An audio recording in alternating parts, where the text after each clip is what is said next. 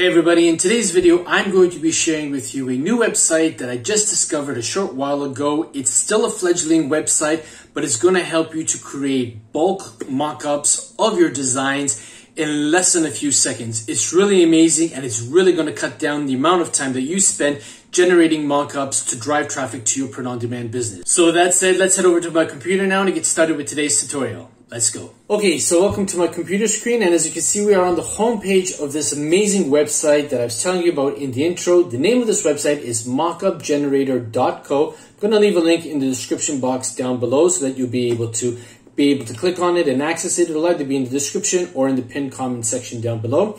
And basically, as you can see, it's a really user-friendly interface. So basically, we've got a section over here where you can either click to be able to navigate to the folder where your image has been saved, or you can actually drag the image into the square and obviously the website will upload accordingly.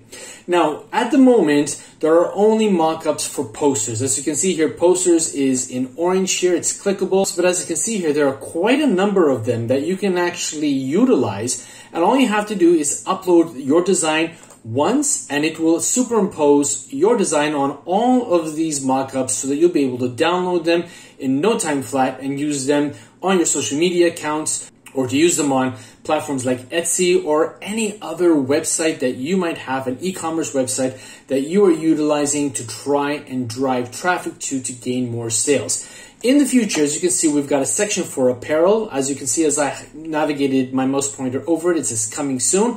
And then there's one pertaining to stores. Not really certain what that is going to refer to, but at any rate, it's still something to look forward to. And the best thing of it all is that this website is absolutely free to use. Okay, so before we tackle these other tools over here, we have to actually upload our design. So what I did was I just found um, a very basic design off of the internet uh, wasn't created by myself. I just took a screenshot of it just to use it for this particular example. Okay, and as you can see here, we now have the image. It's an inspirational quote. The harder you work, the better you get. Okay, so let's take a look at the tools here. We've got scale mode, which is set to auto.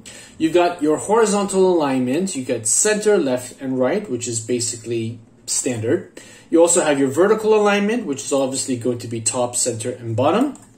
You can also put a bit of padding. So if you have a design that's either text heavy or maybe even in terms of the types of graphics that you want, if you don't want it to be cut off along the border of the poster, you can increase the padding so that it will automatically shrink it down and put more room along the perimeter of your design so that it's not cut off or it's not hidden by the border of the posters. You can also click on the border color. As you can see by default, it's set to white, but if you click on it, you have one of three options. You can either choose a color from the color palette over here simply by clicking anywhere on it, or you can obviously click this handlebar here and obviously adjust the colors depending on what it is you want. Okay, so the third tool in the background color segment is obviously being more specific in terms of your color selection. Now, by default, we're set to RGB, okay, which is red, green, and blue.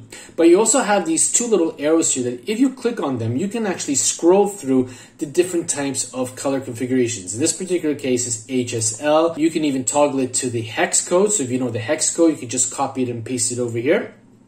Alternatively, if you don't know what the hex code or the RGB or any of the other formats in terms of their code numbers, you can just click on the eyedrop tool here and then you just navigate the mouse pointer to your design. And let's say, for example, I don't know, I want to use this orange. I'm just going to click on that and boom, we get the hex color code right down in the bottom. And we can just obviously click out and the background color has been set to that coral type color.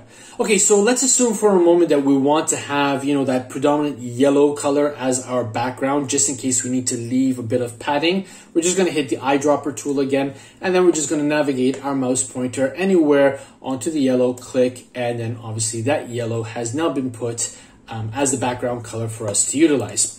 The final tool is the texture. Okay, by default it's set to paper, but if we click on the drop down arrow, we can just select no texture or paper. Okay, so those are basically your options. Again, like I said, it's still in its infancy. I don't know if they're going to continue to develop it. There's a good possibility that they will. You have nothing to lose and everything to gain by bookmarking this website. Okay, so now once we've actually played around with some of these tools, the next thing that we want to do is click on generate mockups. So we're going to click on that. As you can see, there are 24 of these mockups in this particular batch. As you can see, it's queuing them up, it's working, it takes a few seconds, it really doesn't take that long when you consider how much time it would actually take you to actually physically do each of these mockups on a platform like Canva or Photopea or Photoshop. And you know, within a few seconds, as you can see here, we have the design up on all of the mockups here, and we can just scroll through them. And obviously, if we're happy with what we've got, we're just going to click on download. But before we get to that, we do have to note that some of them aren't always going to fit brilliantly depending on the size of the mockup. What we can do is we can increase the padding. So let's say we just take the padding up to 10%. Whenever you make a change on any of the tools, you have to regenerate the mockups. It's understandable. The system has to obviously take the changes that you've keyed in and obviously make the modifications. So we're going to click on generate mockups and see what kind of effect that's going to have on the design.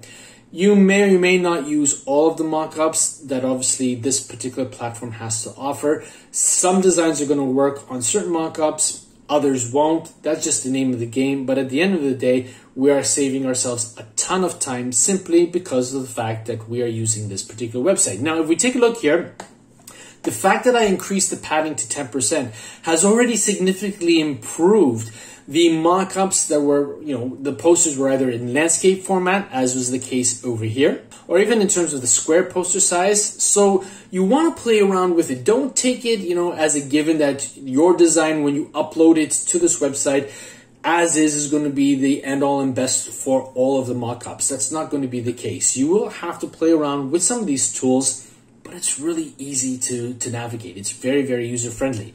Now, before I actually download all of these mockups, what you want to do is you want to choose your image format. Now, in terms of image format, you've got JPEG, PNG, and WebP. So based on how you're going to be using these mockups, you want to choose the appropriate image format for your needs. Understandably, the PNG file format is going to be a lot larger than the other two image formats. So you definitely want to decide which of these formats you want to download. And then what you can do is you can change the file name. So let's just say we want, to, I don't know, we'll call it work inspiration. Okay. And it is going to download the entire batch of mockups in a zip file. So we're just going to click on download.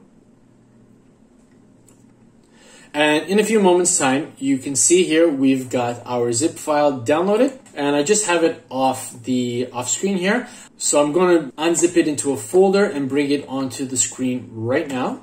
Okay, and as you can see here, I'm just going to choose the view and I'm going to enlarge them. And we've got 24 beautiful mockups that we can use for our social media posting, for basically anywhere that we want to put a mockup to drive traffic to our respective print on demand platforms, online businesses, so as you can see everybody, it doesn't take that long to create some amazing mockups for your designs to drive traffic to your print on demand business. As I showed you, it's still a new website. They're still developing it, but you know, you've got to bookmark it and keep going back to this website from time to time so when they actually put up the apparel and the stores section for your mockups, you'll be able to take advantage of these beautiful mockups and drive even more traffic to your print on demand business without a lot of effort. So I certainly hope that you enjoyed today's video. If you did, do me a favor, smash that like button in appreciation. If you're new to the channel, please hit that subscribe button and turn on the bell notification icon so that you'll be informed each and every time that I upload a new video to my channel. But for today, that's all I've got. And as always, be safe, be well, be creative. Bye for now. Hey, thanks again for watching this video. I really appreciate each and every one of you taking the time to do so. If you are interested in taking your print on demand business to the next level and learning how to generate more sales, please consider clicking on one of the two video thumbnails that have appeared on your screen now. I'll see you there. Thanks again.